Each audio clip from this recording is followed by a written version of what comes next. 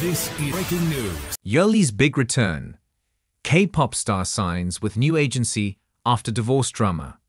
Yulhee, best known as a member of the K-pop girl group LABOUM, has signed up with a new management agency as she prepares to return to the entertainment scene.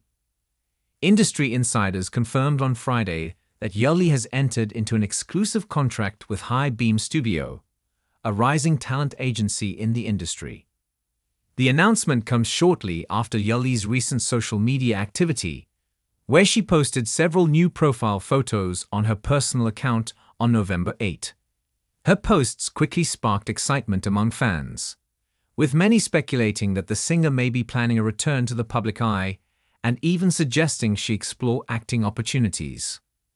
With the signing of her new agency, all eyes are on Yulhee as she steps back into the entertainment world. Yulhee first gained fame as a member of the girl group LABOUM in 2014.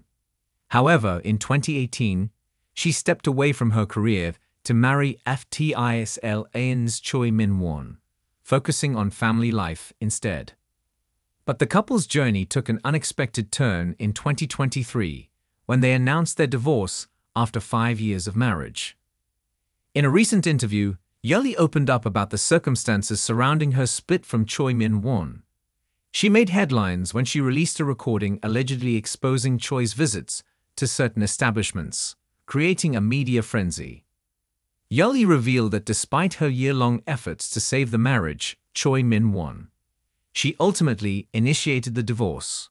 Following these revelations, Yulhee took to her channel to share her thoughts and feelings with her followers. As a mother, I didn't want to lose anything, Yulhee wrote.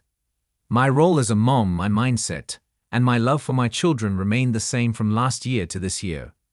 I'm committed to moving forward and working hard for the days I get to spend with my kids. I hope for your continued support. Yulhee has filed for mediation regarding custody, alimony, and asset division. While Choi Min Hwan has custody of their three children, all eyes are now on the ongoing legal battle to see if Yulhee will be awarded custody.